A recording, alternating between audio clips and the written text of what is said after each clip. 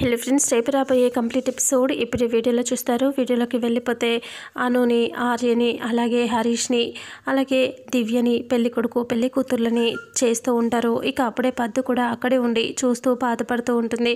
ఆ తర్వాత జ్యోతి ఉషా వీళ్ళంతా కూడా ఎంతో సంతోషంగా ఉంటారు. సుగుణమ్మ ఆర్యని అలాగే హరీష్ని పెళ్ళి కొడుకులుగా చేసి ఆశీర్వదిస్తుంది. వాళ్ళకి బొట్టు పెట్టి అక్షంతలు వేస్తుంది. ఆ తర్వాత ఇక్కడ దివ్యకి అనుకి కూడా అలాగే చేస్తుంది. ఆ తర్వాత వదిన గారు అని చెప్పి హరీష్ వాళ్ళ అమ్మకి ఇస్తే తను కూడా అలాగే చేస్తుంది. ఇక అప్పుడే అను తరఫున ఎవరు లేరు కదా అని చెప్పేసి ఆలోచించి ఇక పద్దు దగ్గరికి వచ్చి ఇలా అంటూ ఉంటుంది మీరు ఏమీ అనుకోకపోతే మా మా కోడలు మా రాధకి ఎవరూ లేరు కదా. మీరు తనకి అమ్మ స్థానంలో ఉండి చేస్తారా ఆశీర్వదిస్తారా అని అంటూ అడుగుతుంది. అలా అడిగేసరికి ఇక అప్పుడే పద్దు నేనా నేనా? అని అంటూ ఉంటే అవును ఇక తన తరఫున ఎవరూ లేక బాధపడుతున్నది కదా. ఇక తల్లి స్థానంలో ఉండి మీరు చరిపించండి అని అంటూ పద్దుని అడిగితే పద్దు ఆలోచిస్తూ ఉంటుంది. ఇక అంతలో పిల్లలు కూడా అలాగే చూస్తూ ఇలా అంటూ ఉంటారు. మా అమ్మమ్మ చేస్తుంది మా అమ్మమ్మ ఒప్పుకుంటుంది. చెయ్యమ్మమ్మ మా అమ్మని పెళ్ళి కూతుర్ని చెయ్యి అని అంటూ చెప్తూ ఆశీర్వదించమని అడుగుతూ ఉంటే అప్పుడు పద్దు ఆలోచిస్తూ ఉంటుంది. లేదు నేను చేయలేను అని అంటూ ఉంటే లేదు మీరు చేయాల్సిందే అమ్మమ్మ అని పిల్లలు మొండి పట్టి పట్టుకొని కూర్చుంటారు. ఇక అప్పుడే సుగుణమ్మ కూడా బతిమలాడుతూ ఇలా అంటూ ఉంటుంది. పిల్లలు కూడా మిమ్మల్ని అమ్మమ్మ అని పిలుస్తున్నారు. అంత ప్రేమగా ఉంటున్నారు. మీరు వాళ్ళకి అమ్మమ్మ స్థానంలోనూ వాళ్ళ అమ్మకి తల్లి స్థానంలోనూ ఉండి చేయండి. మీరు ఏమీ అనుకోవద్దు. ప్లీజ్ చేయండి అని బతిమలాడితే ఇక అప్పుడే సరే అని చెప్పి ఇక పద్దు అలా వస్తుంది. పద్దు రాగానే ఇక అందరూ అలా పక్కకి జరిగితే అప్పుడు అనుకి అమ్మలాగా ఉండి అమ్మ స్థానంలో ఉండి ఆశీర్వదించి అక్షంతలు వేస్తుంది పద్దు. అలా వేస్తూ ఉంటే అప్పుడు అను చాలా హ్యాపీగా ఫీల్ అవుతూ ఉంటుంది. వాళ్ళ అమ్మ అని తనకి తెలుసు కదా. ఇక బొట్టు పెడుతుంది. బొట్టు పెట్టిన తర్వాత ఇక తల మీద అలా చీర కొంగు ఉంటుంది కదా అది కొంచెం వెనక్కి అంటారు. అలా అన్నప్పుడు అక్షింతలు వేసి ఆశీర్వదిస్తుంది పద్దు. అంతేకాని ఇక మొహం చూడదు. ఎందుకంటే తన కళ్ళల్లో కన్నీళ్ళు వచ్చేస్తూ ఉంటాయి. అలా అక్షింతలు వేసి ఆశీర్వదించాక అను ఒక్కసారిగా పద్దు రెండు కాళ్ళని పట్టుకుంటుంది. అలా పట్టుకునేసరికి పద్దుకు ఒకలాంటి ఫీలింగ్. ఎందుకంటే తన కూతురు కాబట్టి అలాంటి ఫీలింగ్ వచ్చేస్తుంది. ఇక కన్నీళ్ళతో బాధగా అలా చూస్తూ ఉంటుంది ఆశీర్వదిస్తుంది. ఆ తర్వాత అలా పక్కకి వెళ్ళి నిలబడగానే సుగుణమ్మ నా నా కొడుకును కూడా ఆశీర్వదించండి పద్దు గారు అని అంటూ చెప్తుంది. చెప్పేసరికి ఆర్య కూడా కంగారుగా అలా చూస్తూ ఉంటారు. ఇక ఉష ఎంతో ఆనందంగా నవ్వుతూ చూస్తూ ఉంటుంది. అప్పుడు పద్దు ఇలా అంటూ ఉంటుంది. లేదండి నేను మీ అల్లుడు మీ కొడుకు గారిని నేను ఎందుకు వద్దులేండి? మీరే ఎవరైనా ఆశీర్వదించండి అని అంటూ చెప్తూ ఉంటే లేదు మా రాధకి తల్లి స్థానంలో ఉన్నప్పుడు తను మీకు అల్లుడే కదా అవుతాడు. అలా చేయకండి పద్దు గారు. పదండి నా కొడుకుని కూడా మీరు ఆశీర్వదించండి అని అంటూ చెప్పేసరికి ఇక అప్పుడే సరే అని చెప్పి ఇక పద్దు అలా ఆర్య దగ్గరికి వెళ్ళి ఏడుస్తూ అలా చూస్తూ ఇక బొట్టు పెట్టి తల మీద అక్షంతలు వేసి ఆశీర్వదిస్తూ ఉంటే రెండు చేతులు ఎత్తి ఆర్య దండం పెట్టి ఇలా అంటూ ఉంటాడు. నన్ను క్షమించండి పద్దు గారు. నా ఇందులో నా తప్పేమీ లేదు అని అంటూ ఇక నేను ఎవరికి ఎలాంటి అన్యాయం చేయట్లేదు అని అంటే అప్పుడు పద్దు ఇలా అంటూ ఉంటుంది. అయ్యో ఆర్య సారు మీరు ఎందుకు అలా బాధపడతారు? మీరు ఏ తప్పు చేయరండి. మాకు బాగా తెలుసు. మీ గురించి అన్నీ తెలిసి మేము అలా ఎలా ఉంటామండి?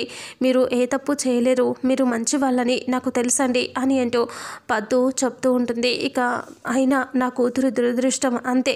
తనని నేను అలా మిమ్మల్ని ఏమీ అనట్లేదు. ఇక ఇద్దరు పిల్లలకి తండ్రి స్థానంలోకి వెళ్ళాలని మీ గొప్ప మనసుకి నేనే చేతులెత్తి దండం పెట్టాలి అని అంటూ ఉంటే ఇక ఇదంతా జరగదండి. ఏం జరుగుతుందో మీరు చూస్తూ ఉండండి.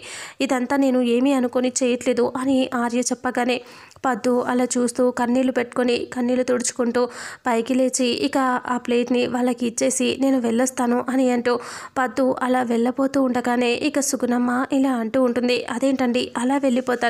ఇంకా కొంచెం కార్యక్రమాలు ఉన్నాయి కదా ఉండండి అని అంటే లేదు లేదు నేను వెళ్ళిపోతాను. నేను వెళ్ళాలి అని అంటూ పద్దు అంటే సరే అయితే మీరు అన్నయ్య గారు ఖచ్చితంగా రండి. ఇక ఎందుకంటే పెళ్ళి కొడుకు అల్లుడిని మీరు చేసేసుకుంటున్నారు. పెళ్ళి కూతురు తల్లిలాగా మీరు ఉంటున్నారు. ఇప్పుడు ఆశీర్వదించారు కాబట్టి నెక్స్ట్ వాళ్ళిద్దరిని పెళ్ళి కొడుకు పెళ్ళి కూతురుగా చేసినప్పుడు పెళ్ళి పీటల మీద చేసే కార్యక్రమాలన్నీ మీరే జరిపించాలి తండ్రి తల్లిలాగా అని అంటే ఇక పద్దు సరే సరే అనేసి వెళ్ళిపోతుంది. ఇక అమ్మ అని చెప్పి అను బాధపడుతూ చూస్తూ ఉంటుంది. ఆ తర్వాత ఇక అక్కడ అంత కార్యక్రమం అయిపోయాక ఆర్య దగ్గరికి సుగుణమ్మ ప్లేట్లో అన్నం తీసుకొని వచ్చి సూర్య ఇక రేపంతా ఉపవాసం ఉండాలి ఇప్పుడు మీరు భోజనం చేయి అని అంటూ ప్లేట్లో అన్నం తీసుకొచ్చి నేను తినిపిస్తానంటే అప్పుడే అక్కి అబ్బాయి అక్కడికి పరిగెత్తుకొని వచ్చేసి ఇలా అంటూ ఉంటారు అమ్మమ్మ అమ్మమ్మ నాన్నకి మేం తినిపిస్తాం అని అంటూ ఉంటారు. ఇక అంతలో అక్కడి నుంచి దివ్య వచ్చి కోపంగా చూస్తూ గట్టిగా ఇలా అరిచేస్తూ ఉంటుంది అమ్మ నీకైతే నా మీద అసలు ప్రేమే లేదు అని అంటే ఇక అప్పుడు సుగుణమ్మ అలా చూస్తూ ఉండగానే యాదగిరి జ్యోతి అక్కడికి వస్తారు. యాదగిరి ఇలా అంటూ ఉంటాడు ఎందుకు? ఎందుకు ప్రేమ లేదు? అంటే చూసావా? తన కొడుకుకు మాత్రం తినిపిస్తుంది. నాకు తినమని చెప్ కనీసం చెప్పని కూడా చెప్పట్లేదు. అంటే అప్పుడు యాదగిరి అంటాడు నువ్వు ఇందాక తిన్నావు కదా? అని అంటే తిన్నాను. ఆకలేసింది తిన్నాను. అంటే బాగా మెక్కి మళ్ళీ ఇక్కడ వచ్చి నాకు పెట్టమని లేదని నువ్వు అడుగుతావా? బుద్ధి లేదు నీకు. పో ఇక్కడ నుంచి. నీకు కాబోయే బకరాగాడు ఉన్నాడు కదా అని అంటే "ఆ, ఏమన్నావు? అని దివ్య అంటే అదే నా బావగారు మీ బావగారు ఉన్నారు కదా ఆయన దగ్గరికి వెళ్ళు అని అంటూ యాదగిరి పంపించేస్తాడు. ఇక దివ్య కోపంగా వెళ్ళిపోతే జ్యోతి ఇలా అంటూ ఉంటుంది. ఏంటండి దాన్ని అలా ఆట పట్టిస్తారు? అంటే ఇక అది ఏమన్నా మామూలుదా? అని అంటూ యాదగిరి అంటాడు. ఆ తర్వాత అక్కి అబ్బాయి ఇలా అంటారు. అయితే మేము అమ్మని తీసుకొస్తాముండు అమ్మమ్మ అని చెప్పి అక్కడి నుంచి వెళ్ళిపోతారు. ఇక అప్పుడే అనుని అమ్మ రా అంటే అప్పుడు అను ఎక్కడికి తల్లి అంటే మీరు నువ్వు రా అమ్మ చెప్తాం అని అంటూ అక్కడికి తీసుకొచ్చి కూర్చోబెడతారు. అమ్మ ఇక మీరు రేపు పెళ్ళి అయ్యేదాకా ఉపవాసం అంట అందుకనే నాన్నకి నీకు తినిపిద్దామని మిమ్మల్ని తీసుకొచ్చాను అని అంటూ ఇక అలా కూర్చోబెట్టి నానమ్మ ఈ ప్లేట్ నాకివ్వు. నేను తి మేమిద్దరం కలిసి అమ్మ నాన్నకి తినిపిస్తాం అని అంటూ అక్కి అబ్బాయి అంటారు.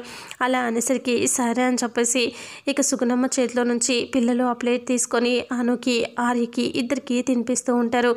అదంతా చూసి ఉష సుగుణమ్మ వాళ్ళైతే చాలా హ్యాపీగా ఫీల్ అవుతూ ఉంటారు. అప్పుడు ఆర్య అలా చూస్తూ ఉంటాడు. ఇక అక్కి అబ్బాయి ఇలా వాళ్ళిద్దరికీ ప్రేమగా తినిపిస్తూ ఉంటే అను అలా ఆర్య వైపు మెల్లగా చూస్తూ ఉంటుంది.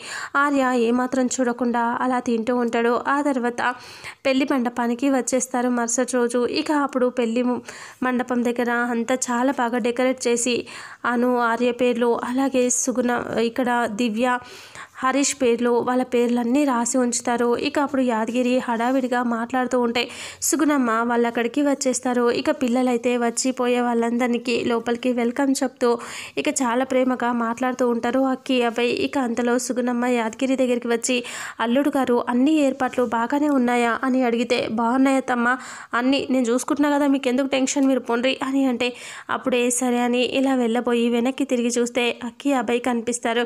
పిల్లలు చూసావా? ఎంత సంతోషంగా ఉన్నారో అని అంటూ ఉంటే అప్పుడు యాదగిరి ఇలా అంటూ ఇలా అంటాడు అవును కదా అత్తమ్మా వాళ్ళ అమ్మ నాన్న పెళ్ళంటే మరి ఆ మాత్రం సంతోషంగా ఉండరా?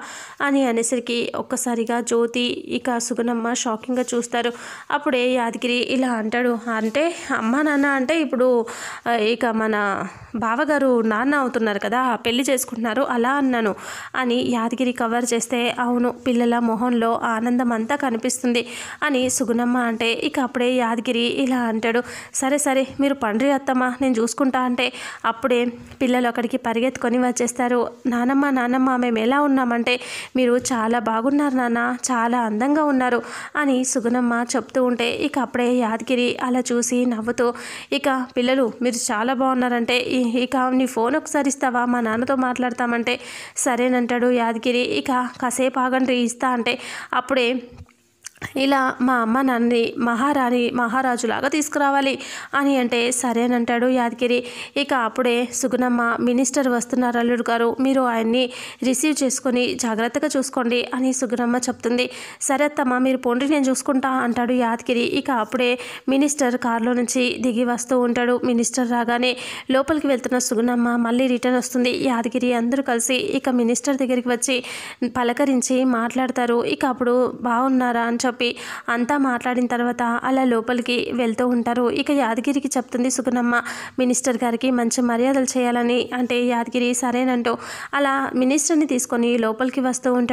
సడన్గా యాదగిరికి ఏదో ఫోన్ వచ్చి అక్కడే ఆగిపోతాడు. ఇక ఫోన్ మాట్లాడుతూ ఉంటాడు.